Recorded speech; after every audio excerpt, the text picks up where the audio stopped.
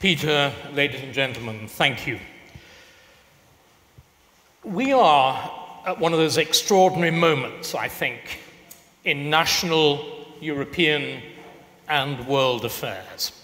It's my very strong view that the greatest works, and I'm not actually aiming to produce one in the next half hour, but it would be nice if I did, that the greatest works of political thought emerge from moments of crisis.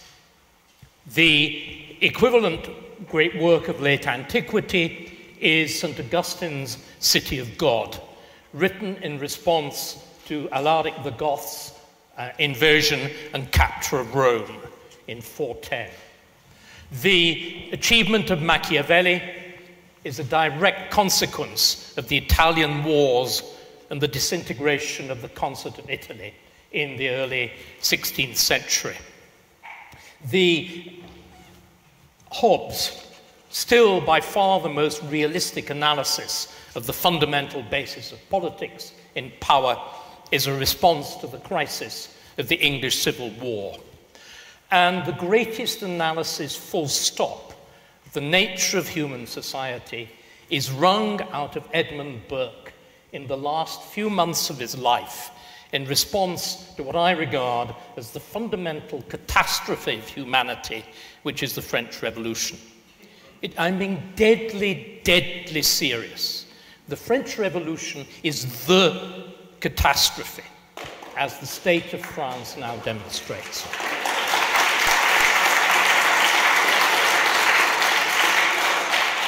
We are, of course, confronting, which lies much behind what's going on this afternoon, we are confronting the events in the Ukraine.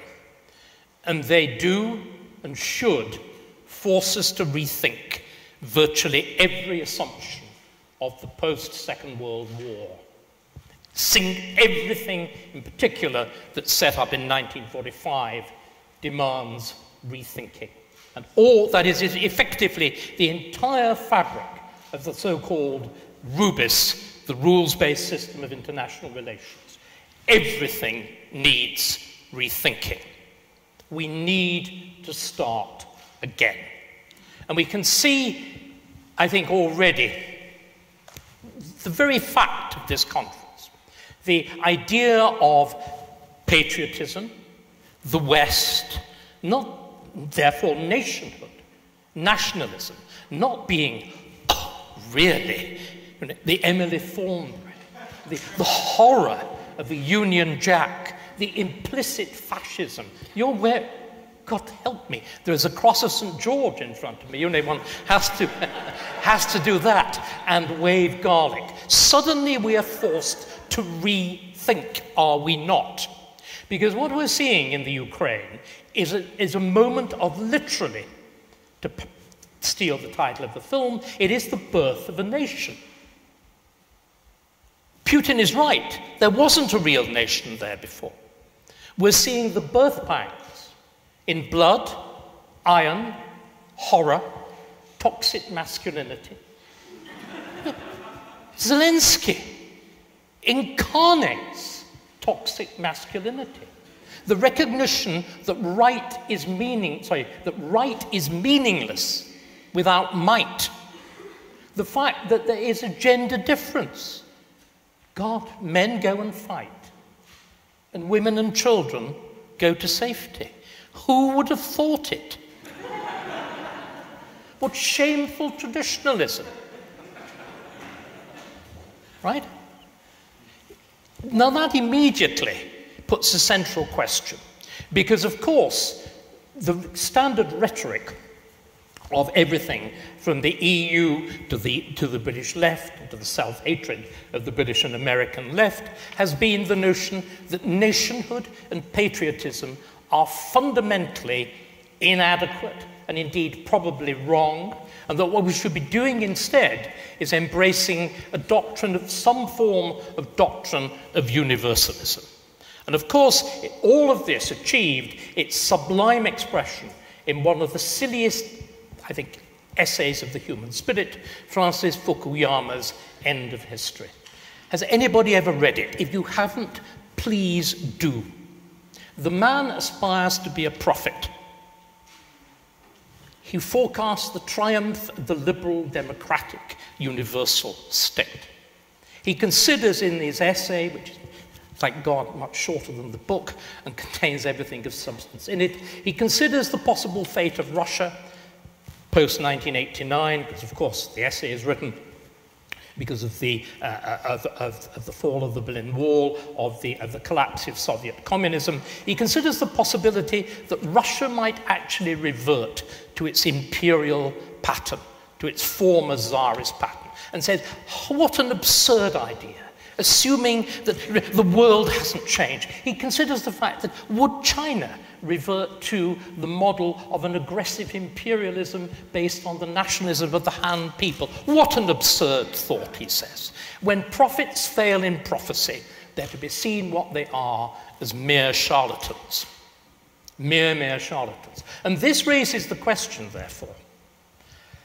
Patriotism clearly is central, and a sense of nationhood is central, and even Fukuyama, in his attempted reworking of his ideas, has now acknowledged that the liberal state needs to be grounded in national identity. Now, this raises one utterly fundamental question What is the nature of liberalism? Is liberalism a product of specific place and circumstance and culture? Or is it a set of universal values as embraced, for example, as embodied in, for example, the Universal Declaration of Human Rights, the great achievement of uh, the 1945 settlement, along with the creation of the United Nations? And this, of course, is, I think, the fundamental issue. It is Burke who, faced with another great moment of crisis, delivers the proper answer. Because remember, we think of Burke as the prime philosopher of the right, as the prime philosopher of conservatism. Burke is a lifelong Whig. Burke is a passionate supporter of the American Revolution. Burke is a fundamental believer in tightly limited monarchy and a lifelong opponent of George III. How on earth does he become the founder of modern conservatism? It is in response to the crisis of the French Revolution. I'm sure we all know his reflections on, on, on, on, uh, the, the, the, late turmoil in France, whatever the precise phrase is, is written as an astonishing, I've already mentioned prophecy. I've classified uh, and characterized uh, um, Fukuyama as a false prophet because he fails in prophecy. What is astonishing about Burke is that he is a genuine prophet. He writes in 1789. He writes at the very beginning of the process. All that's happened is you've had the fall of the Bastille and the march on Versailles. You have not had the terror, you've not had Napoleon, you've not had the revolutionary armies, you've, had, you've not had the aspiration to the conquest of Europe and the upturning of world order. None of that. He forecasts it all and forecasts it precisely. And what is the centerpiece of Burke's argument? It is the centerpiece of mine that the disaster of liberalism is the claim to be founded in universal values. That there are, and I hope this is now going to be profoundly controversial, there are, there is no such thing as universal values. Values are narrowly culturally defined. Values are rooted in historical experience and they are anchored to place. And they are not easily detached from place. Burke understands this completely, and his great criticism of the French Revolution is its attempt at universalizing, at trying to produce models of everything, from the measurement of time to weights and measures to currency to human rights to political structures that fit everybody based on the assumption that there is a common universal humanity. Now, this idea is profoundly rooted in us. I think it's wrong. I think it's fundamentally wrong. There is, there is a common humanity in the broadest, broadest possible sense. But it is one that tells us nothing about political values, tells us nothing about culture, tells us nothing about language. And Burke recognizes this.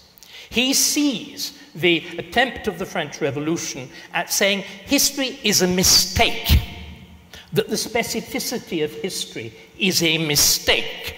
That what we, you know, the absurdity that there are 24 hours in the day, how preposterous there should be 10, or that there are 12 weeks in the year, how utterly silly, or 67. I mean, literally, the French Revolution puts everything into tens. How preposterous it is that there are geographical areas that aren't exactly the same size. It is this, it is this principle, uh, thank God, very briefly exemplified in Britain by late Tony Blair, uh, but with still utterly catastrophic consequences. So, what I'm going to posit then is the Burkean position. Burke, in contrast, says that what society is, is not a contract of fragmented individuals. Society is a contract that goes across generations. It is a contract of past, present, and future, of the dead, the living, and those yet to be born. And it is culturally, specifically rooted. That's Burke's response to that first great crisis of universalism. And it seems to me that what we've got to learn is that the attempt at producing universal uh, human values or a single system of international law is an absurdity. And it leads inevitably to the mess that we're in now or to the disaster that was produced by the French Revolution. Now, let us, again, I made the point right at the beginning about the nature of evidence. Can I now invite you to look not at the world as we thought it should be, with a single rule based system of international law and all the rest of it, the kind of thing that politicians of good looks and high superficiality, like Justin Trudeau, perpetually chatter about. Um, we need to look at the world as it is. And I've argued, some of you will have been watching my YouTube channel, I know, that the world as it is looks astonishingly like the world envisaged by, uh, by George Orwell in 1984. That is to say, that we have at the center of the Northern Hemisphere, we have three great power blocks. We have Oceania, which is, again, explicit in 1984, America and the British Empire fused. We have Eurasia, which is an expanded Russia. He assumes it's come to the frontiers of France, which, of course, is exactly what um, Putin's propagandists are saying it should do at the moment. And then we have East Asia, which is a greater China. And then you have the parallelogram of the rest of the world, which is in dispute. Now, it seems to me that if you look at that, that corresponds pretty identically to the lineup that has developed in the wake of the Ukraine crisis. The West is simply Britain, uh, the, old, the old empire, the old Commonwealth, and America. That's what it is. It's the five eyes. You know, Canada, Australia, New Zealand, Britain, and the United States. The adherence of the European Union to it is highly fragile. Look at the behavior of Germany. Germany was, of course, the model state in terms of Fukuyama's prophecy. That's to say, the universal homogenous state that is purely driven by economic criteria and has nothing vulgar to do with foreign policy or, or you know, power politics and whatever. Look at its fundamental moral cowardice. Look at its incompetence in international relations. Look at its supine posture, and above all, look at the betrayal of the notion that the Germans have genuinely come to terms with their history. They have not. They have not. Right. So, the West then is what? The West is fundamentally culturally homogenous. It is the offspring of the two British empires. It's the United States of America, and it is then, remember, the unique, the unique feature of the British Empire was that it did not aspire to be universal. The catastrophe of the Roman Empire, of the French empires, they aspired to universalism. The British Empire is unique in that it envisages ending itself, not committing suicide, but a form of apotheosis. Remember the fragmentation of the First Empire that results with the, uh, with the rebellion of the United States of America, uh, and that successful rebellion is really a continuation of the British Civil War. That's what it is. It is fundamentally those same disputes. Why is the American Revolution successful? Because it's not a real revolution. It simply pretends to the universalism of the French you have the disaster of, you know, um, uh, we hold these truths to be self evident that all men are born free and equal. Can I point out there's never been a sillier statement? that far from being self evident, it's deranged. It's, it's, even de- it's even deranged when you apply it to women. Because how are we born? We're not born free and equal, we're born wildly different and we are born utterly, completely, and absolutely dependent. And we're born not free, but midst piss and shit, as against this is St. Augustine, it's not me. It's exactly what Augustine says. And it, what we need to understand is that the American Revolution was successful in spite of those absurd circumstances. Because what the American Revolution does is simply incorporate English common law and the existing structures of English government, which are very, very lightly glossed over with the universalism of the late Enlightenment. That's all that happens. You just give a little lick of Roman paint to what is basically a British institution. And if you don't believe me, ask why the American House of Representatives sits on green benches and has got somebody called a speaker in charge of it. And more, more, even more interestingly, why its administrative officer is called, Americans can't even pronounce it, the Sergeant at Arms. And if you ask an American why the administrative officer of the House of Representatives is called a Sergeant at Arms, they will look at you with horror and say, Is it? What's that? And it is, of course, purely because that was the case in England. So the, the, the, the, the, universalism of, of, of, the, of, of, Rome, the universalism of France, was utterly challenged by Britain. Britain, after the loss of the American colonies, because the colonies wanted self government, which was, of course, the. Fu- Remember, we are not a historic democracy. This, again, is a complete myth. Britain has been a democracy for less than 100 years. What we are is a profoundly rooted system of representative and limited and law based government. That is what really is important. That's what we are, and it's rooted in our institutions. And it is this pattern of historical institutions which is fundamentally significant and makes us what we are and what we are the immensely fortunate heirs of. And America incorporates that with the disastrous series of grand universalist claims, which of course have been exposed with brutality with the whole war about race and everything else which has followed from the 1960s onwards.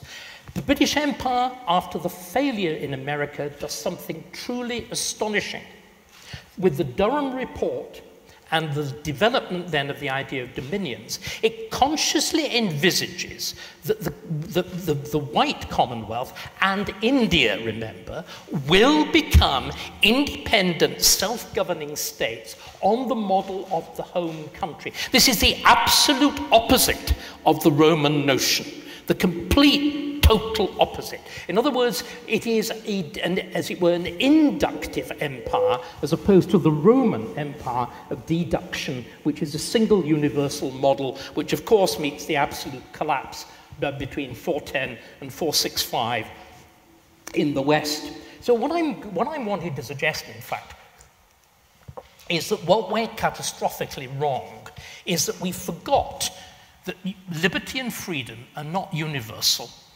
They're culturally specific. They don't export very easily.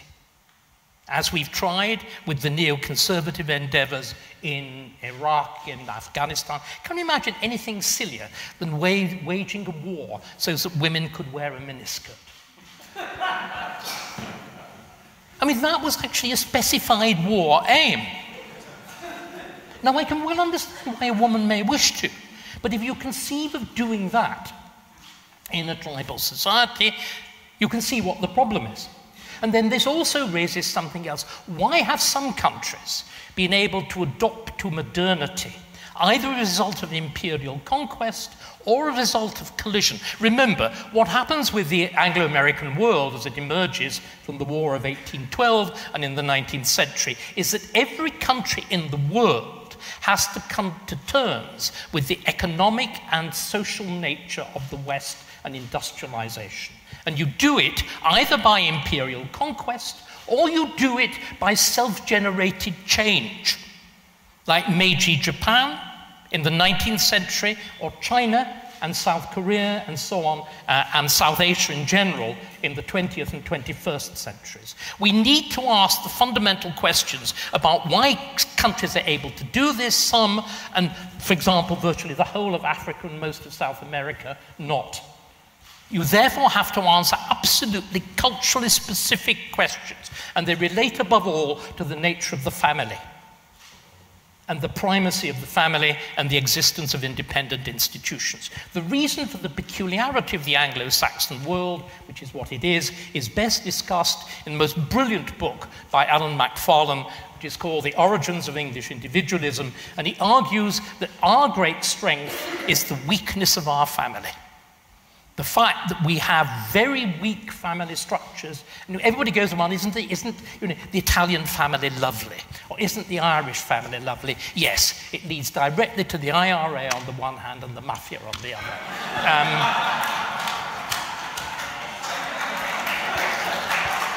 it's true. It's true. We have to say these things. We have to say them. So what I'm wanting to say then is what has undone the West? Why are we having this conference? Why are we worried about at the very moment of what should have been our triumph? We have been undercut by identity politics, we've been undercut by anti imperialism, we've been undercut by the whole business of everything. Remember, I was a pioneer of gay rights, God help me. Uh, um, uh, everything from, from, from, from gay rights, trans rights, you know, the whole business, the whole poisonous, toxic business of race. What went wrong? What went wrong was the creation of the universal institutions in 1945.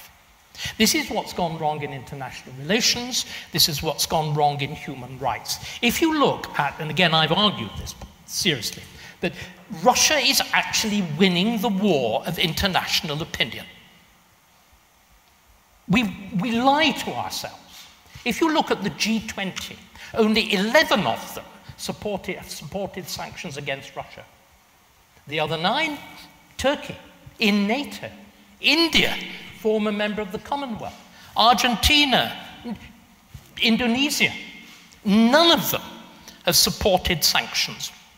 This is because Russia, with its masterful role in the United Nations, came up with an entirely novel set of doctrines that deliberately displaced the universalism of the West with an invocation of regional regional power blocks on the one hand, but above all, of international patterns of behavior that respected, listen to them, national, cultural, and confessional norms. In other words, the world as it is, which is why the Russians have done extremely well in all of this.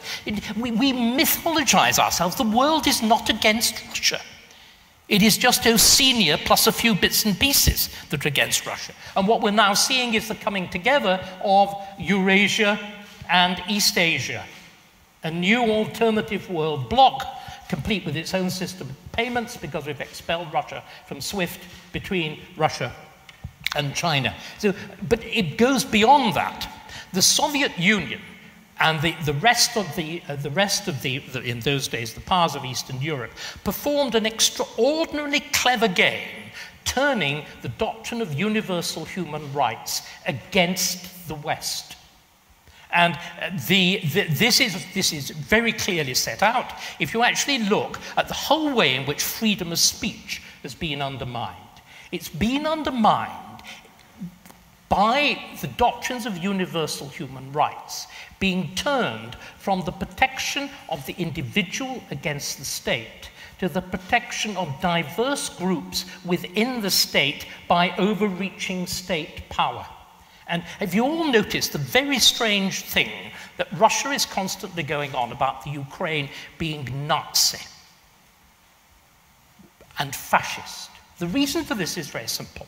The first erosion of the doctrines of freedom of speech, that remember very ambiguously drafted Article 2021 of the Universal Declaration, were the result of Russia writing into the peace treaties with Austria, with Hungary, and whatever, that they had to be anti fascist and that any assertion of fascism was to be a criminal offense. You legislate from the very beginning restriction of freedom of speech. And then from that point onwards, you use doctrines of imperialism, of course, to get the third world on side, right through the 60s and whatever, the 50s and 60s. And then in the 60s, you take over with the notion of minority rights. And again, the notion that the only thing that can protect minority rights is the state as against other individuals.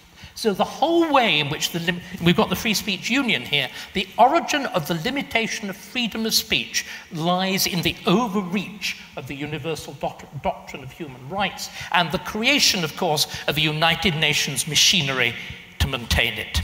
So again, I go right back to the beginning. We've got to do something different. We've got to start to invoke consciously that the West is best. We've to lose this sense of shame. We have to look at the astonishing achievement of our history in which opposites are reconciled. We've to stop picking out you know, the slaver and the slave. We've got to stop picking out the Whig and the Tory. We've got to stop picking out the Royalist and the Republican. We descend from all of them. We have this astonishing achievement of a polity in which we are the offspring of all of them. And this attempt at picking out, as it were, the victim and lauding them, and the vanquished and, and the victor and despising them, is a catastrophe. It destroys the astonishing achievement of the West. I'll read to conclude, before a final conclusion, I'll read what I did when I gave a version of this lecture a little a while ago at one of the evenings of the, uh, one of those splendid party evenings of the National Cultural Forum uh, New Cultural Forum, and it's T.S. Eliot's Little Gidding. If we're to take history seriously, what I'm suggesting is that history is the numinous basis of the state. History is the emotional foundation of the state, of the Western state, of Britain and America and Australia, Canada, and whatever in particular. It's striking, of course, that in traditional states, the legislature is invariably built in Gothic architecture. That is, suggests that it is embedded, rooted in the historical experience. And Eliot, more than all of poets, seizes this, this notion, seizes this notion um, in Little Gidding. He's talking about the monuments in a country church and of people, not wholly commendable, of not immediate kin or kindness, but of some peculiar genius, all touched by a common genius united in the strife which divided them. If I think of a king at nightfall, of three men and more on the scaffold, and a few who died forgotten in other places, here and abroad, the one who died blind and quiet. Why should we celebrate these dead men more than the dying? It is not to ring the bell backward, nor is it an incantation to summon the spectre of a rose. We cannot revive old factions. We cannot restore old policies or follow an antique drum. These men and those who oppose them, and those whom they opposed, accept the constitution of silence and are folded into a single party. Whatever we inherit from the fortunate, we have taken from the defeated. What they had to leave us, a symbol, a symbol perfected in death. And all shall be well, and all manner of things shall be well by the purification of the motive in the ground of our beseeching. We need to understand that. We need to understand that insofar as there is a commitment to those values of liberty and of freedom and of law, it lies in those ancestors, those ancestors on both sides. You will not find it in China. You will not find it in Russia. You will not find it in Africa. You will not find it in South America. That does not mean that a Russian or a Chinese or a South American or an African cannot absorb those values, but they do it by a process of acculturation, but I, what I would call becoming bicultural. And we need to start thinking of that. We need to begin with that sense of patriotism, of pride, but of humility, because we did nothing to create it. We're merely the fortunate inheritors, but we will to be blamed if we lose it.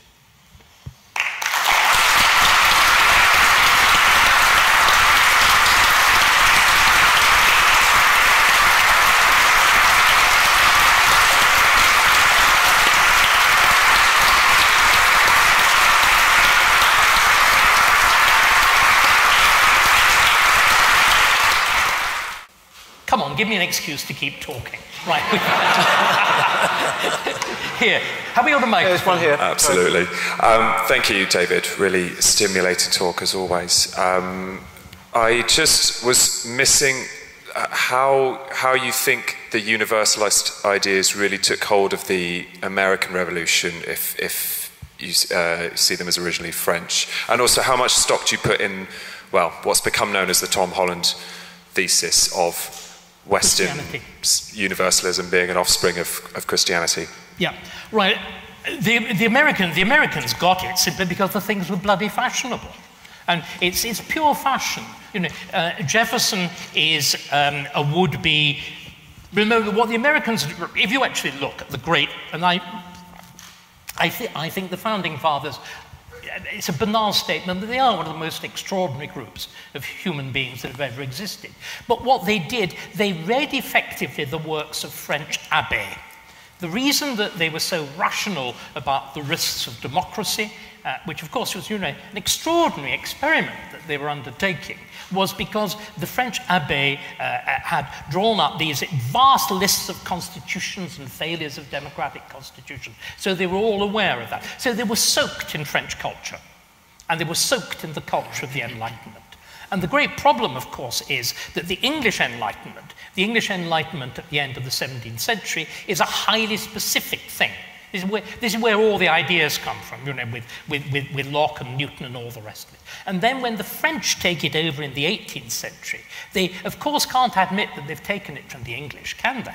So you have to produce these grotesque schemes of the notion of a universal man. And so I, I think it really is as simple as that with America. Now, the universalism of Christianity, well, I think it's a great case of yes, but. I mean, remember, uh, it's it's really, it's Paul, isn't it? Um, with, with, with, you know, uh, there, is, there is neither Jew nor Greek nor, nor, nor, nor, nor, nor whatever. Uh, but that's equality in the sight of God, not of man. Which is why early Christianity, indeed Christianity for most of its history, is perfectly relaxed about tyranny.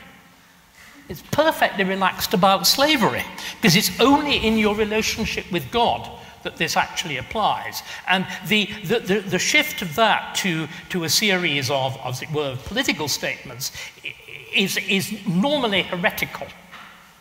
Uh, you know, it, it is the, the, various heretical groups in the Middle Ages. It is, of course, various peasant, peasants and pseudo-peasant revolts. You know, the, the, the, the, um, uh, uh, in, in, in, in 14th century England, with this, again, the association very often of Lollardy uh, with, with peasant levelling, uh, Cade and everything else, uh, which you get. Um, and the, so I don't see Christianity at all as having that necessary consequence. I think that what happens is it's Christianity that then elides into the culture, particularly of the Anglo Saxon world. If you look at where these ideas are developed, if you look, for example, at where the, uh, particularly uh, the abolitionist movement and the, and the, notion of the, you know, the iniquity of slavery, it is purely within the Anglo-Saxon world. I mean, do we, again, there's been this great fuss in the Caribbean about the fact, you know, and, and, inflicting on not terribly bright members of the royal family the entire, the entire, the entire burden of guilt over slavery. What I think somebody should do, what I think somebody should do is gently ask them, would they have preferred to have been French? I mean, I mean, I mean, I mean, I mean, colonized by the French. Shall we look at the experience of the most important French colony of Saint Domingue, Saint Domingo, that we now call Haiti? Haiti was indeed, the slaves in Haiti were, were freed for five minutes by the French Revolution. Then Napoleon seeks to re, and they have their own revolution with Toussaint Louverture and whatever, and then there is the attempt at reimposing by Napoleon slavery. That is defeated, whereupon the people of Haiti carry out one of the most unspeakable massacres of a white population ever. You destroy the, it's a bit like Ireland with its governing class. You destroy the basis of a civilization, admittedly, a pretty horrible one. How then does Haiti finally get its independence from France? Can anybody tell me? They pay for it. They are required to pay a hundred, this is by the restoration government, is it 1823 or 1880? Oh, I'm not doing badly, am I? Yeah, yeah. It, they are required to pay 150 million gold francs to buy their freedom from France. That debt continues to be paid till 1943 when it is held by the City Bank of New York. Right? That is, that is how you would have been treated if you'd been part of the French Empire and not part of the British Empire. So whenever we hear the squeals about reparations, I think they should be told that little story. And I am happy to write the speech for the next junior member of the royal family uh, uh, who visits.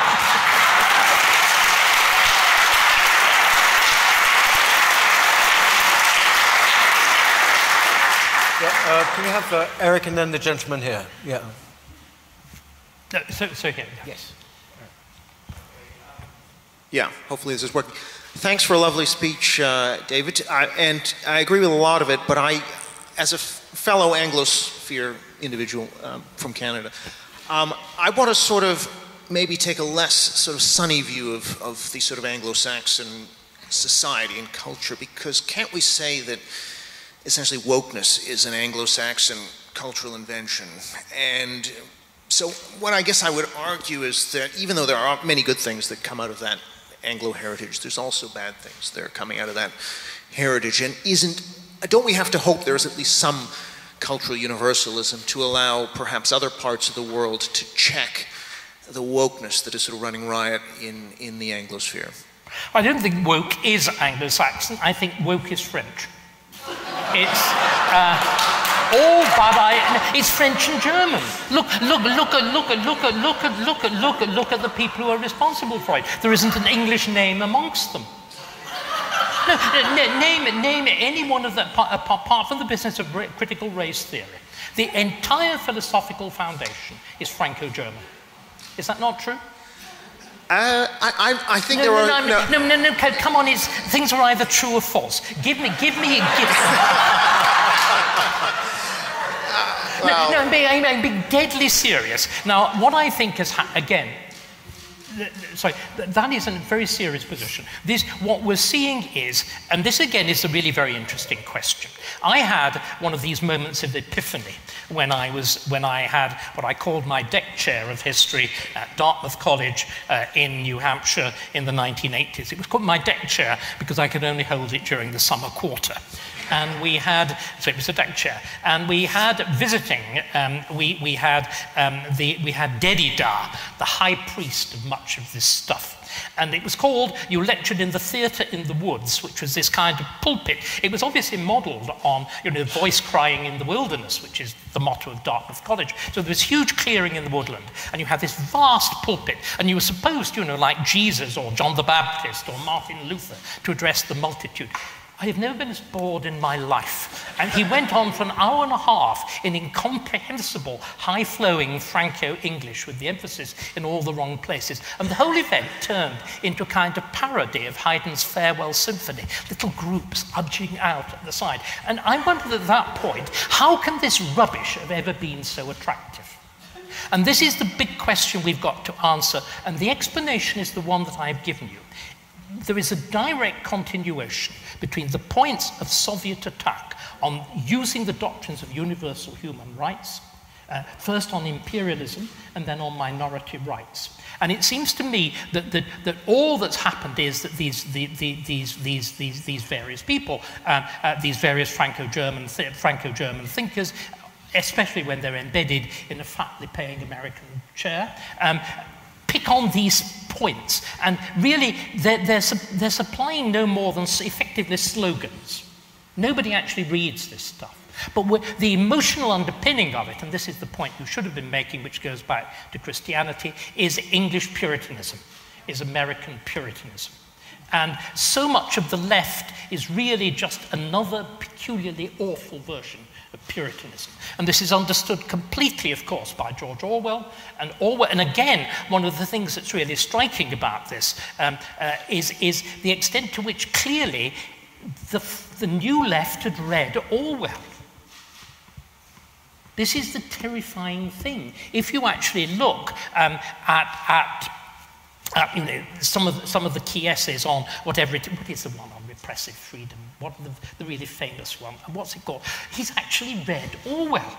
And so he turns, turns the developments, as it were, satirized into Orwell, into actual principles of action. And, and I think it is this, it is this, this, this counter streak in, in, in Anglo-Saxon culture, this, this, this, this, this streak of repression, this streak of hostility to pleasure, this streak of flagell self-flagellation, which has been given, uh, given a secular form. Um, but, but, but, but, uh, which again, of course, Puritanism picks up this strange doctrine of Christianity, which is equally mad and comes from equally outside the culture. is equally incomprehensible when it's mixed with Greek Gnosticism. Um, Anyway, that's a, that's a rival rant. But, but I, think, I think, you see, the, the, though that is how I would approach the issue. I think that, the, the, that it's the, it is the catastrophe of the universal doctrines of human rights and how they were perverted by. If, if, if, you, if you look at there's a famous essay, and I should have brought it with me because I've forgotten its title, um, which provides the legal basis for the limitation of freedom of speech through the various modifications between the Universal Declaration of Human Rights and what is the second version in the 1960s. Uh, the, but which is the one that is actually legally binding. And all the limitations on, hum, on freedom of speech come from the Soviet bloc. And they're all cited with acclaim by the human rights lawyers. It's an extraordinary story, and it needs telling. Uh, this gentleman here, I think that's a uh, final question, I think. For your, for your talk, I wanted to ask you about, since you've talked about um, the Enlightenment and France and Christianity, it strikes me a lot these, these days, these years, that every time I read Descartes' famous dictum, I think, therefore I am, it strikes me that it's an inadequate and incomplete description of what it means to be a human being. In other words, if you build your whole sort of Christianity or your philosophy of life on such an inadequate foundation, your house will just simply collapse one day. And I wonder if that's why the Western mind is in such a state these days. I wonder what you think of that. I think that's an extraordinarily shrewd observation. In other words, the, the, the, the, the, the standard, you know, uh, cogito ergo sum and whatever. It is to, ex- and this is precisely, of course, what Burke denies. Burke denies that politics is fundamentally reasonable. Politics is not reasonable. The foundations of human society are not reason. The foundations of society are emotional. They're not the product of freedom, they're the product of dependence. They're not the product of will, they're the product of history. We are born into a society. We are born into a language. We are born into sets of values. We enter into a dialogue with them. And again, it's really important that we don't see the, traditional position has been, of course, that that is to put yourself in a straitjacket. That to, to accept, as it were, the givenness of society is to put yourself in chains. Again, you know, it's the Rousseau position. You were born free, but we're everywhere in chains the far subtler position is not only Burke, it's going back very, very much earlier, right to the foundation of, again, the extraordinary cultural collision between Anglo Saxon culture and that of Latin Europe, particularly in the, in the 14th century and particularly in the work of Geoffrey Chaucer. Chaucer, right at the beginning, when he is, he is looking at, in the Parliament of Fowls, when he is looking at one of those uh, extraordinary uh, uh, pieces of the Roman world that have come down to him, the dream of Scipio, uh, which actually looks at the idealization of the Roman state and all the rest of it. And he thinks, God, this is boring. And he goes to sleep and dreams instead of a dream of parliament of fowls, all, you know, getting off and making love to each other. But there's this, there's this wonderful pair of couplets in which he addresses the whole question of the relationship between old and new. And this seems to me, we were talking, I was talking to, chatting to some people before, before I came in here on what education is about. This is what education is about. It's the realization it is fundamentally cultural transmission on the one hand, the essential duty of the teacher is to hand over the cultural inheritance of the past, but to do it in a way which equips the child to do something new with it. Old and new are in permanent and fruitful dialogue. And Chaucer understands it. Just listen. Out of old fields, as men saith, cometh all this new corn from year to year, the cycle of organic growth. And out of old books, in good faith, cometh all this new science that men lear, that men learn. Old books are new. This again, every great figure has said the same. Newton, I see further because I stand on the shoulder of giants. It's always, and this notion that, that art is all about kicking it away and putting ice cream cones with flies on them on top of monuments in Trafalgar Square is crass vulgarity. It, it, it's absurd, I mean, and it shames our city. Uh, it's a sort of, it, the, the joke is good once when it's done with a urinal, but that was in New York in 1919, and it's, it's merely, it's a historic fart. And, uh, and um, it is shameful and stale and as disgusting. Um, but Chaucer, give, Chaucer so, so, but, but you see, what Chaucer is doing, what Hegel is doing, what, what, what Burke is doing, what all the greats are doing, is recognizing the givenness recognizing that, yes, we have our reason, and our reason is vital in that process, but our reason doesn't begin with itself. It's given things to work with, both insiders and outside. In fact, and in, in, the, in the reality of human relations and human culture and human language. And the disaster of the universalism of 1945, of the universalism of the French Revolution, of the universalism of the Roman world, was to fail to understand that. And to simply to apply a universal abstract rule of reason, which is by definition Procrustean. And we all know what that means. If at the bed of Procrustes. If you didn't fit it, uh, you were too short, you were stretched to fit it. If you didn't fit it because you were too long, bits were cut off. And that's exactly what the, the, the single arbitrary rule of reason means. It is a torment of human society. Thank you very much, David.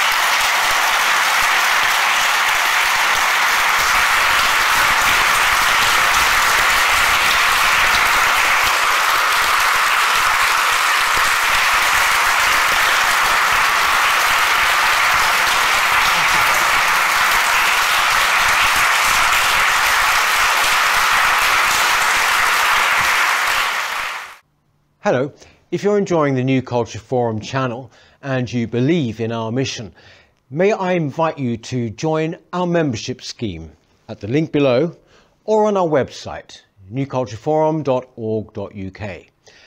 Our work is more important now than ever, and we have great plans ahead for the future, but we can't do it without your support. From as little as £3 per month, you can help ensure that we continue on our mission. As a member, you'll receive a range of benefits, including access to exclusive content, invitations to our private events, including here at our studios, free copies of our books, and much, much more, including, of course, our famous NCF mug. If you aren't able to become a member, then please help us by clicking this button and subscribing to our channel. It's completely free. Just remember to also click the bell icon so that you can get notifications when we post new videos. Thank you.